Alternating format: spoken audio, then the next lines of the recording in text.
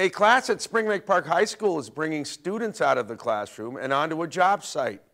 Danica Peterson has a look at the construction class that will be building an entire house this year. There's about 40 students across two sections of Scott Wickland's construction trades class. We started with safety. Safety was our number one. Like, how do you operate yourself on a job site where you're not going to get hurt?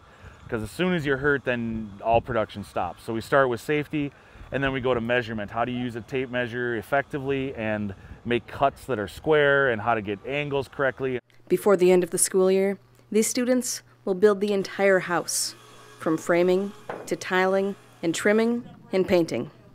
Well, nearly the entire house. Those are the only two pieces that we won't do is, is the electrical work, because you have to have a licensed electrician, and the plumber. But this week, they are learning how to get the walls up.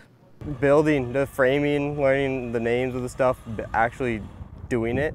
Just a lot of framing stuff, nailing patterns, stuff like that. That's what I've learned.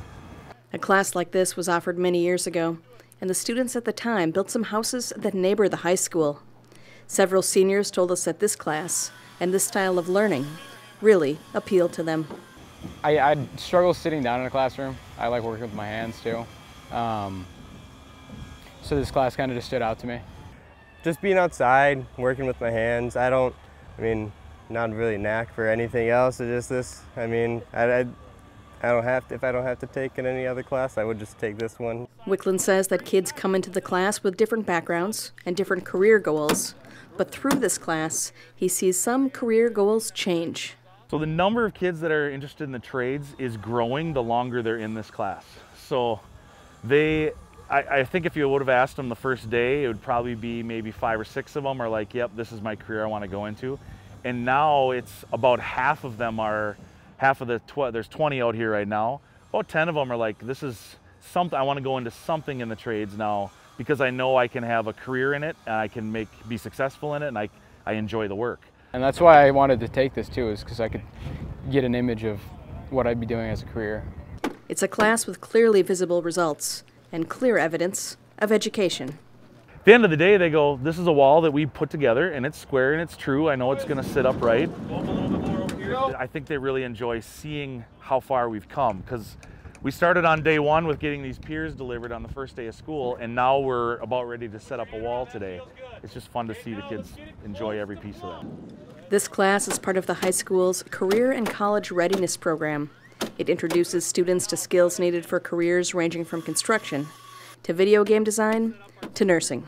What I'm excited about is opening them up to okay, how do you do sheetrock? How do you do some electrical? And they can watch the electricians do it. And, and if they find a niche that they really like, well, then we'll connect them with people that, that'll, that'll open doors for them. Everybody should take this class. It teaches you life skills, teaches you how to interact with people properly, teaches you um, how to be a leader, um, and how to be a follower too. You gotta know how to do both, and it just it's a great way to learn that. Learn that. For North Metro TV News, Danica Peterson reporting. What you guys did, the wall's up. That's pretty awesome, right? Gosh, it feels good. This project is receiving funds from a local builder. Once the house is built, the builder will move the home to a property, add a basement, and then sell the house for cost.